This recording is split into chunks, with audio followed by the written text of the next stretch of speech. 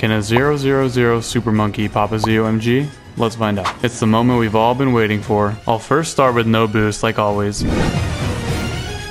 22, 43. Now I'll add villages and a permabrew. 15,656, that's all it took. Alright, let's move up to a BAD. I added the Glue Storm ability, a 10 times Ultra Boost, and an Overclock.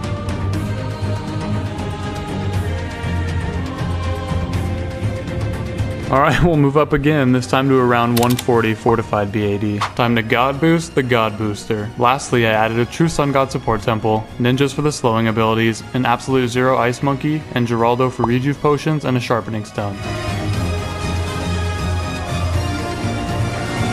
Not quite, that's a little disappointing. For shits and giggles, let's upgrade this fella and try the same round. Well done, Batman.